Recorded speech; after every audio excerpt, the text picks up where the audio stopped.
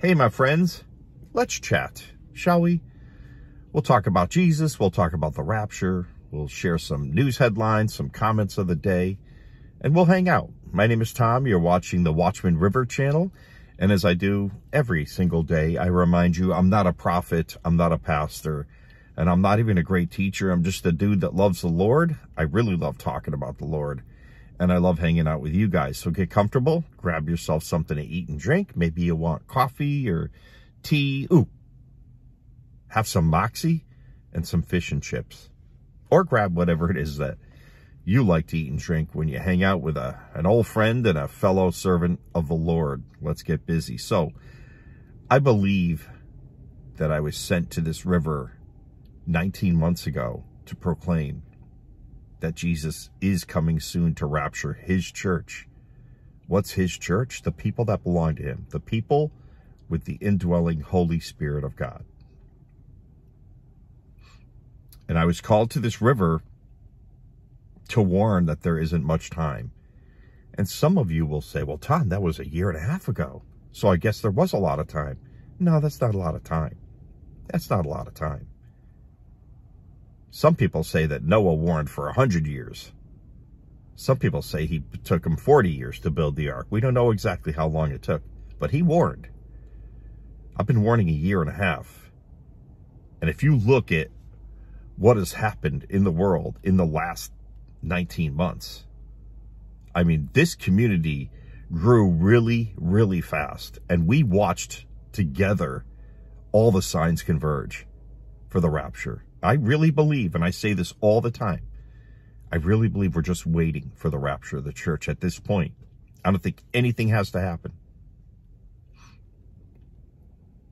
There have been many, many people that are very upset with me. And you know what? Sorry, it's guilt by association. They're upset with you too because we're excited about the rapture of the church and we're talking about the pre-tribulation rapture of the church. And we have joy. This is a joy-filled community, and people don't like that. And sad to say, I'm talking about a lot of people who call themselves Christians. They're they're very, very mad and angry that we believe in a pre-tribulation rapture. and it's we un, we we unapologetically talk about the pre-tribulation rapture of the church here, don't we? Um, but let me just remind you that no one can steal our joy. No one. Don't let anyone steal your joy. They're coming after your crown. Don't let them have it. Don't let them steal your joy. Don't let the mocker steal your joy. Don't let the scoffer steal your joy. They're just fulfilling Bible prophecy. No one can steal our joy. 1 Thessalonians 5, 1 through 6.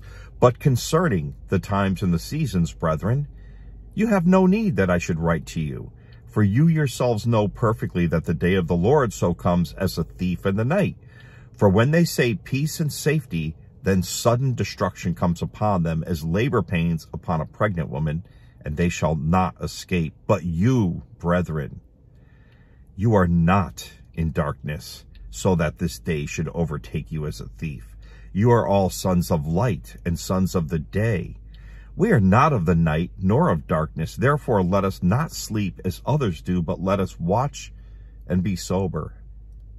It's exactly what we do here every single day. We're watching, we're waiting, and we have a sober-mindedness about us.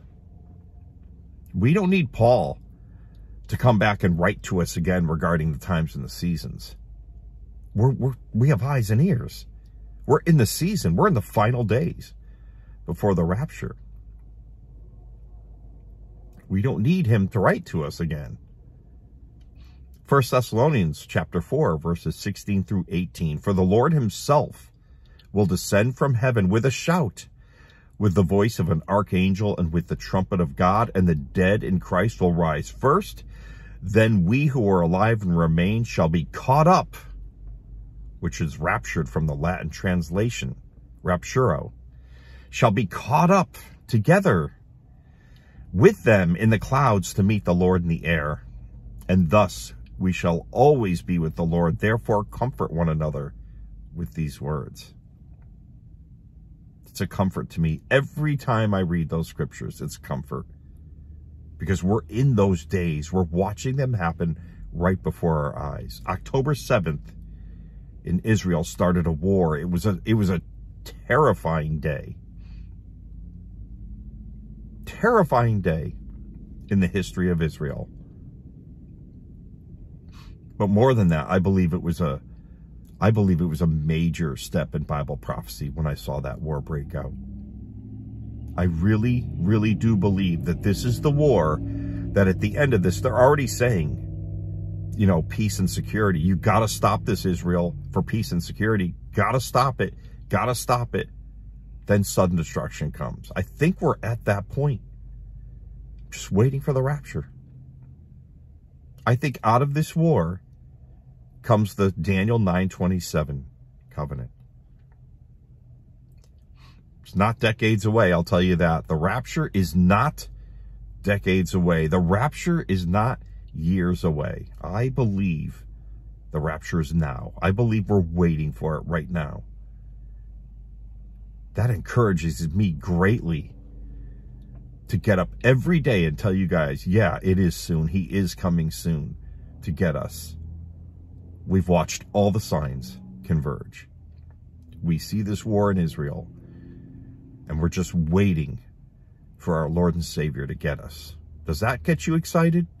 Gets me excited. I am so ready. I am so ready.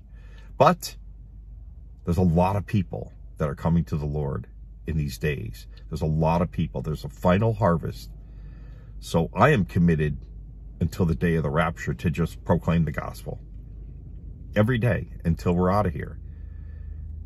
But that doesn't mean that, you know, I mean, whew, I'm begging Jesus to come.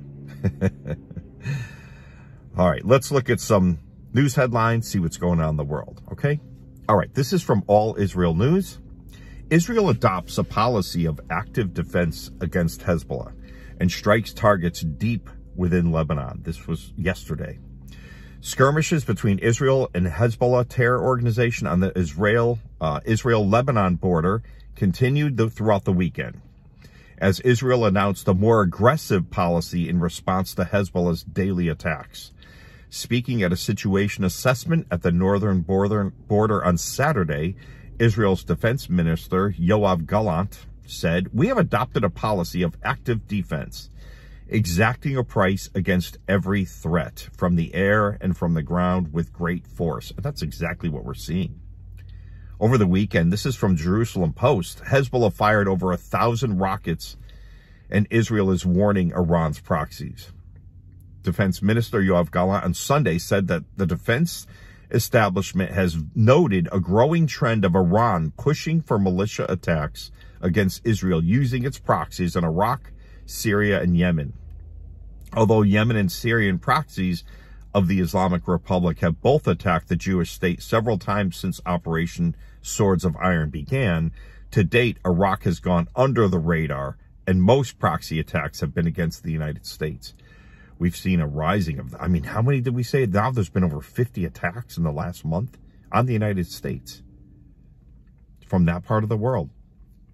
This is from the Times of Israel, Iran's former IRGC chief said the new war fronts could open against Israel. The former head of Iran's Revolutionary Guard Corps has warned that new war fronts could open if Israel continues its offensive in Gaza. Uh, the Times of Israel said IDF says it's carrying out preemptive artillery shelling in South Lebanon amid repeated Hezbollah attacks. Same story every day right now, right? The full front hasn't opened there. Because if it did, you would see many thousands of rockets going. But we're seeing these skirmishes at the border and just wondering how long is this going to be while the whole world is saying peace and security. The Israel Defense Forces says it carried out preemptive artillery shelling in southern Lebanon this morning, and this was today, this, you know, this morning Israel time, amid repeated attacks by Hezbollah terror group. From Israel today, this morning has seen almost nonstop fighting along the northern border. Israeli communities and IDF bases have been targeted by rockets, mortars, anti-tank missiles, and at least two drones. The IDF has responded with artillery and airstrikes. If it weren't for the situation in Gaza, This would be the top headline around the world. As things stand, it's barely given any attention, even in even here in Israel, they said. Pretty wild. Pretty wild.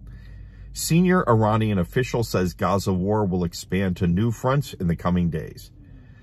Um, he said it was the ex-Revolutionary Guard guy I read about a minute ago, and he tells Lebanese media that the proxies in Iraq and Yemen are prepared to support Hamas forces by launching new fronts against Israel.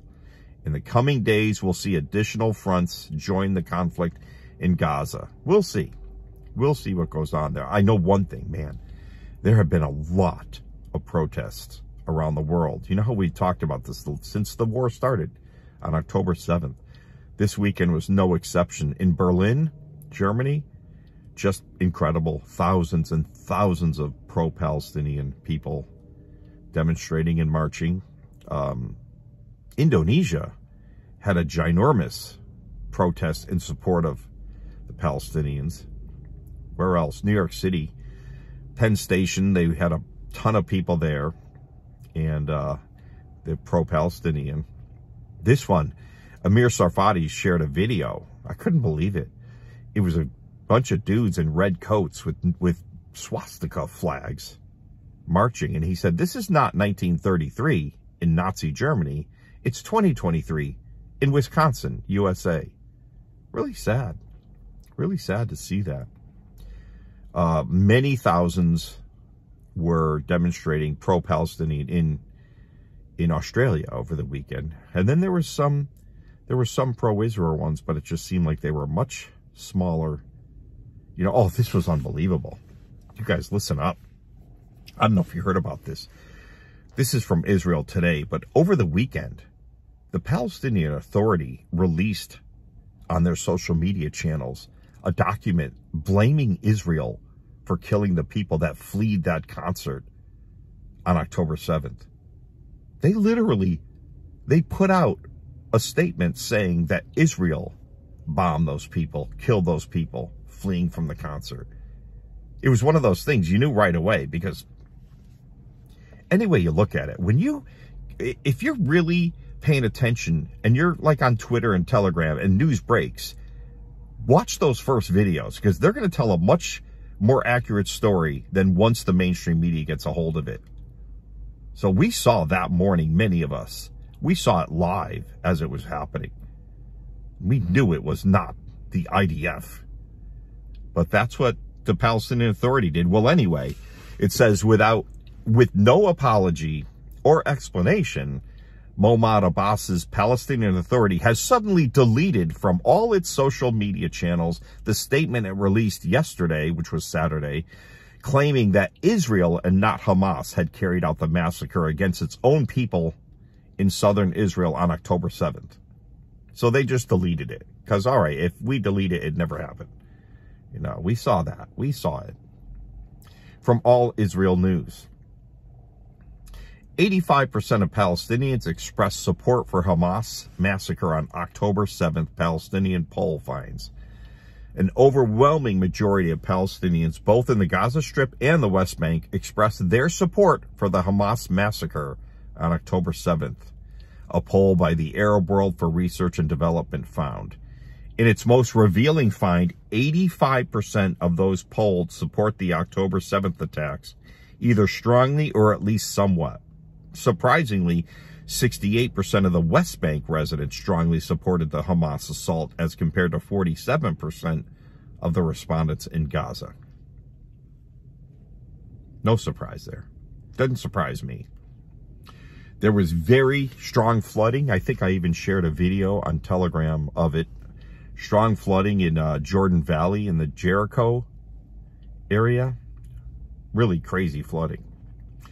Turkey had a huge storm. It hit Istanbul. Parts of the city were flooded. And that was crazy video. Wildfires are raging across Virginia, Tennessee, and North Carolina. I didn't know this. Wildfires have been burning across Virginia, North Carolina, and Tennessee, resulting in parts of the Appalachian Trail being shut down. According to officials, the U.S. Forest Service in North Carolina announced on a Facebook post Friday that part of the trail from Interstate 40 to Max Patch had to be shut down as a result of the Black Bear fire, which started on Thursday. So we got fires and floods. Rescue efforts underway following major flooding in the Dominican Republic. Heavy rain and flooding were forecasted to continue through Monday for parts of the Dominican Republic. At least 20 deaths have been caused by the flooding that started on Friday. 79 earthquakes last 48 hours, over 4.0. 11 of them over 5.0. So there you go. Also, from Insider Paper, South Korea warns North Korea to scrap the spy satellite launch plans. Hey, leave Kim alone. He wants to he wants to launch. He needs to make his mark. Kim needs to make his mark. Leave him alone. I'm sorry. I like to make fun of that guy. It's probably not right, but you know, I hope he finds Jesus before he leaves uh, Earth. South Korea's military warned North Korea on Monday to immediately stop preparations for a spy satellite launch, vowing to take necessary measures if it goes ahead. North Korea is preparing to launch a spy satellite for the third time after failing twice this year to put a military eye in the sky. If North Korea goes ahead with the launch of a military reconnaissance satellite, despite our warning, our military will take necessary measures to guarantee the lives and safety of our people. I don't know, Kim. I don't know if you're going to be able to get that satellite up there. Just You just keep working on your nukes, okay? Sorry. All right, from Insider Paper, South Africa is going to chair BRICS extraordinary joint meeting on the situation that's happening in Gaza. Tomorrow, BRICS Brazil, Russia, India, China, South Korea. They're going to have this big powwow. And uh, South South Africa is going to chair the meeting, and it's going to be all about how much they hate Israel. Bottom line, that's what it's going to be about. uh, from Forbes, this is definitely clown world. Uh, artificial intelligence, the Category 5 hurricane the public doesn't see. Listen to this. This is the challenge currently faced with the rapid rise of artificial intelligence, even the creators of neural networks, the artificial intelligence systems that learn and adapt like the human brain, they confess they don't know if they can control their creations. It reminds us of Dr. Victor Frankenstein, whose creation ran amok. In the movie, once the monster comes to life and opens his eyes, Victor triumphantly shouts, It's alive! well, it's time to turn on the sirens for the general population and let everyone know this creation called AI is alive. I like that. I like that. I don't know. I, I don't know what's going on with this AI, but I know one thing. I'll just, I'll just have water, you know, please. I just don't, I'm not for this. I think this is a giant part of the coming beast system. I really do. I think AI is, is a giant part of the deception that's coming to this world quickly. How about we get some comments of the day, shall we? Let's do it. I have a lot of them today. Ricky, we're almost home. Thank you, Holy Spirit, for all the help you have given me. And without you, I would be lost and without peace and hope. Jesus is my king, and he loves me, and I love him. Israel will win. Amen, Ricky. Thank you. Thank you. Stormy Coop, I see so many people saying the rapture is not true. I see people changing their faith. I'm a believer in Jesus. I believe that we will be raptured. I believe what the Bible says. Bingo, your last line said it all right there. People will say to me, Tom, what do you think about everyone changing their mind about the pre-tribulation rapture? Maybe we're wrong. I always reply with, has scripture changed? Is scripture wrong? Are we going to start saying next, maybe Jesus didn't shed his blood for us on the cross? Because that to me would be the exact same thing. The pre-tribulation rapture is all over scripture, Old Testament to New Testament. Pre-wrath doesn't make sense. Post-wrath, the U-turn rapture doesn't make sense. It's pre-tribulation rapture. So no, I haven't changed my mind but many have. I've told you before, you guys. The older folks know this if they've been looking for a long time. You look back in the 70s and 1980s and even into the 1990s, like 80% of the Bible believing churches believed in a pre tribulation rapture. And we just saw as the years went on, we just saw it lessen and lessen and lessen. And now it's like, I feel like we're a remnant. We're just a small sliver. But doesn't that make sense in a way? When you look at things, the more the more the majority is against something, the more I look at it and go, hmm, it gets fishy in every aspect of life. Now, a pre-tribulation rapture is what it is.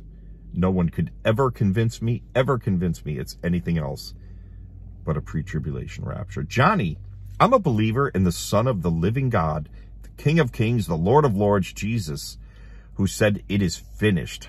Thank you, Lord. Thank you, Johnny.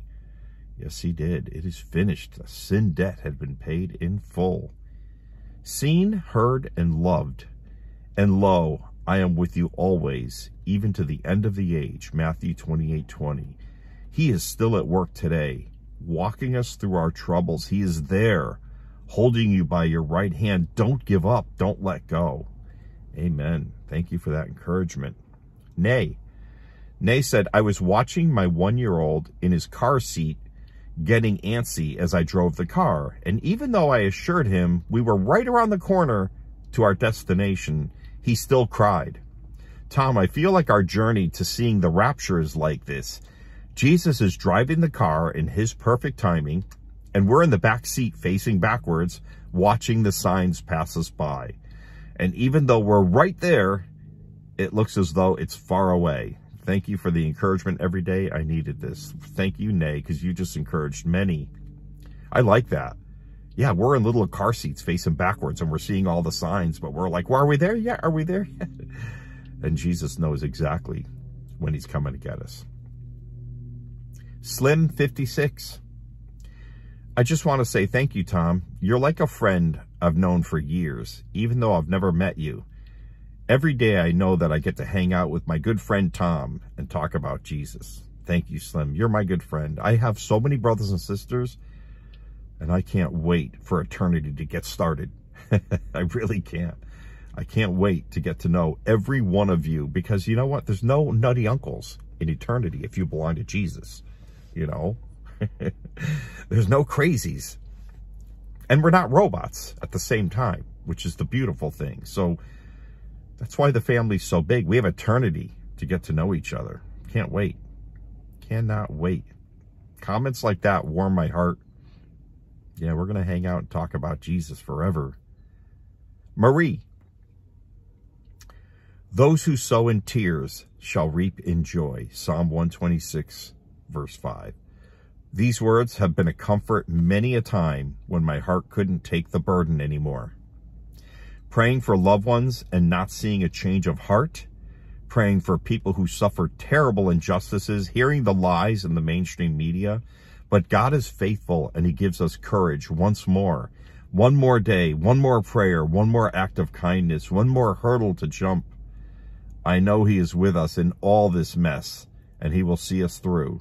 What a day that will be. No more sorrow, no more tears, just pure joy. Maranatha. Amen. Amen. Thank you for that.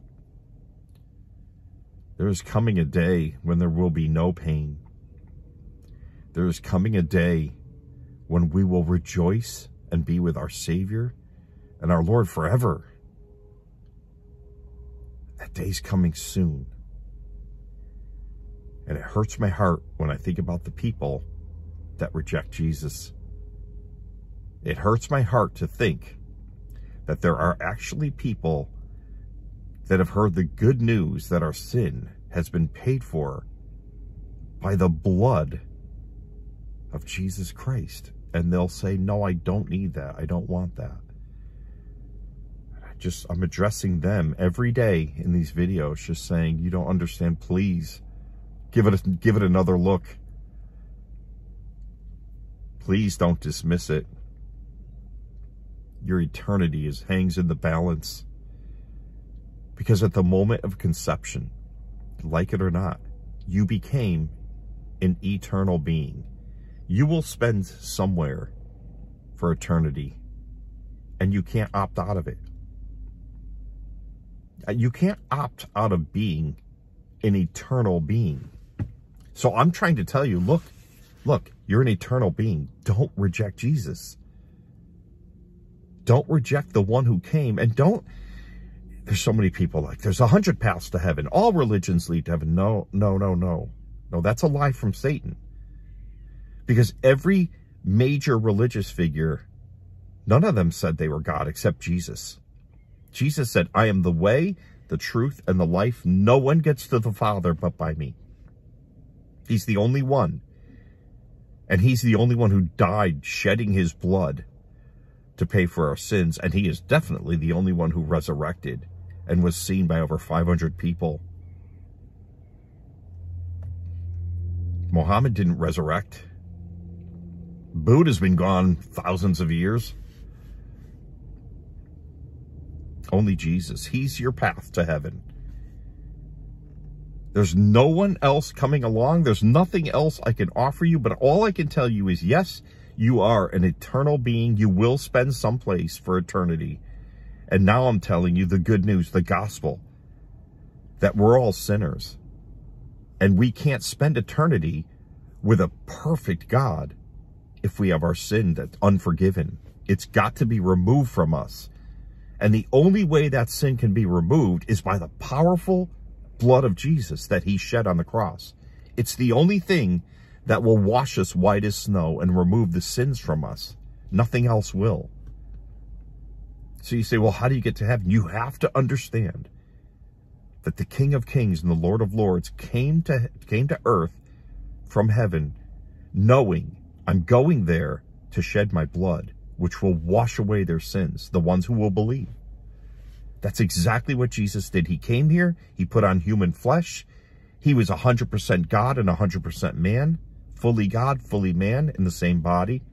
He walked the earth perfectly. He never sinned, the whole time knowing I'm going to end up shedding my blood because I love these people. He did it because he loves us.